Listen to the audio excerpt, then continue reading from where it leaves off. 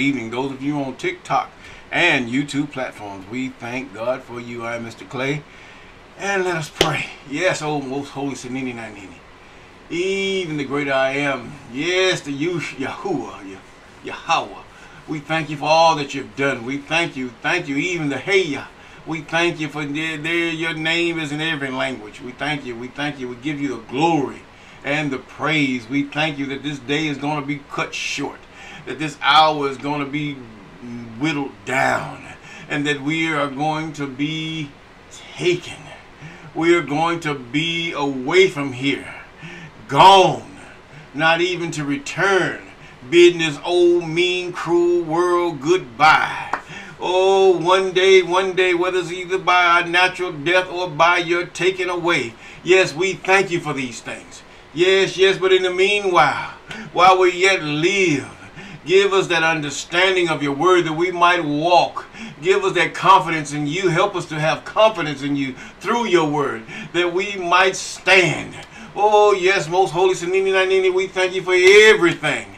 Hey, we ask you to deal with our children. They must suffer many things and they have to endure many things. But yet we ask you to make their way prosperous, make their minds aware, make their hearts even melt before you, that they might even call upon you in the day of calamity. Yes, oh most holy Sanini Nanini, we thank you. We give you the praise and the glory. For the east, west, north, and south, we all have enemies. But yet that we come along and come together as one people, one voice, Yes, even the Bantu, even Israel. And we thank you for all things. Yes. All praises, all praises. Yes, we're in Exodus chapter 38. Yes, the 38th chapter of Exodus. That's where we are. And we're in verse 1. Still talking about Bezalel. And he made the altar of the burnt offering of shittim wood. Five cubits was the length thereof, and five cubits was the breadth thereof. That's the length and the width. Okay, and it was four square. It was square. The altar it was square, okay?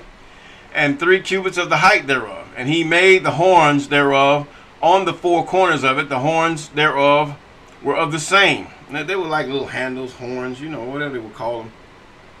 But they were on the, they were on the four corners of the altar. This was a square altar, made out of what? Brass, shittim wood, overlaid with brass. Okay and the horns thereof of the same. He overlaid it with brass. And he made all the vessels of the altar the pots and the shovels and the basins and the flesh hooks and the fire pans and all the vessels thereof he made of brass made he of brass.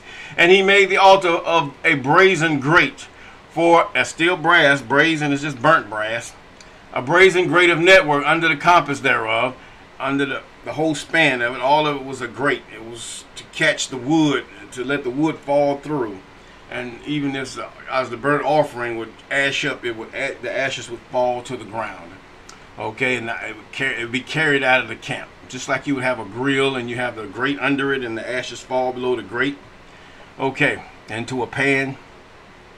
Okay, now, verse four, and he made the altar a brazen grate net of network under the compass thereof beneath unto the midst of it, and he cast four rings of the four ends of the grate of the brass to be places for the stays. In other words, that the altar may be carried when they get ready to travel. And he made the stays of shittim wood and overlaid them with brass, and he put the stays into the rings on the sides of the altar to bear it with all. And he made the altar hollow with boards. So it was hollow with boards. They would be able to carry this brass, this brazen altar. They'll carry it. Yes, as they go on their journey, it was very slow but they would carry that brazen altar.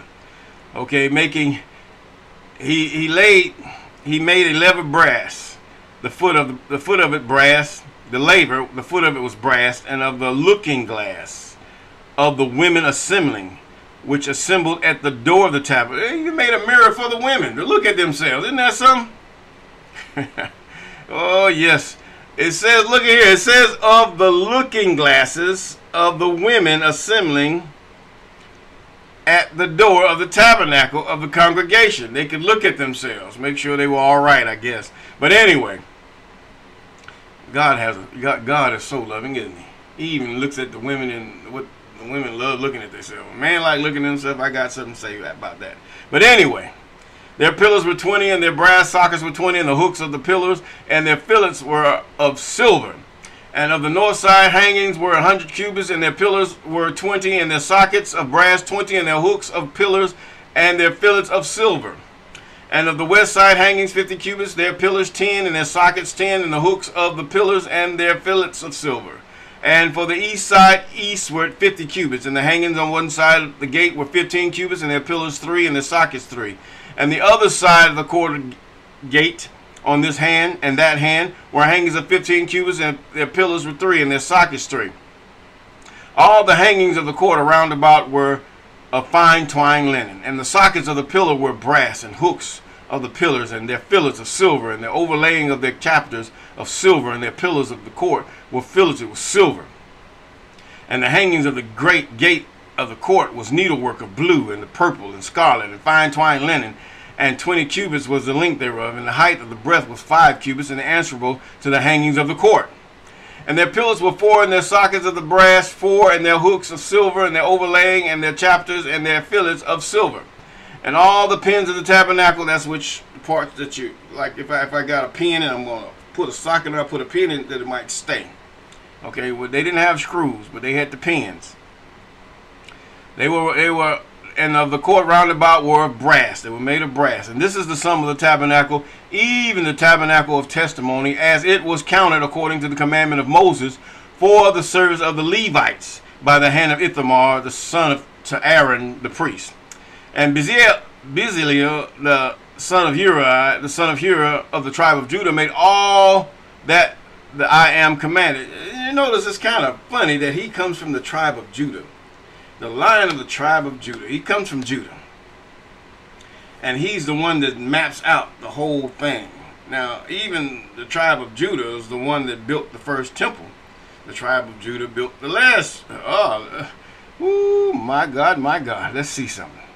Made all that the Lord commanded Moses. And with him was Aholiab, the son of Ishmael of the tribe of Dan, and engraver and cunning workman, and embroiderer in blue and in purple and in scarlet and fine linen. Yes. And all the gold were occupied for the work and all the work of the holy place. Even the gold of the offering was 20 and 9 talents and 730 shekels after the shekel of the sanctuary. And the silver of them that were numbered of the congregation was an hundred talents and a thousand seven hundred and three score and fifteen shekels after the shekel of the sanctuary. The bekah for every man, a bekah for every man is that is a half shekel after the shekel of the sanctuary. And everyone that went to be numbered from 20 years old and upward for 600 600,000 and 3,550 men. It's a lot of people. And of the hundred talents of silver were cast the sockets of the sanctuary and the sockets of the veil and the hundred sockets of the talents and the talents for a socket. And of the thousand seven hundred and seventy and five shekels he made hooks for the pillars and overlaid their chapters and fillet, filleted them. Filleted them. yes. And the brass of the offering was 70 talents and 2,400 shekels therewith. He made the sockets to the door. I'm in verse, I am in verse 30 the door of the tabernacle of the congregation, and the brazen altar, and the brazen gate forward, and all the vessels of the altar, and the sockets of the court round about, and the sockets of the court gate, and all the pins of the tabernacle, and all the pins of the court round about. And I tell you one thing the Bantu, ready to march. In other words, we got our praise ready. We got the place where we're going to praise, we're going to sacrifice to our God our, our, our Lord and our Savior. We're going to sacrifice to Him, and we have made this thing where everybody knew their place. The Levites knew how to take, take this thing down. They knew when to pack. They knew how to pack. They know who, what tribe, or who would carry this, or what, what, what clan would carry what, or what clan would carry this. And Israel marched until they got over to that river Jordan. Yes. And so with that, we're going to say peace.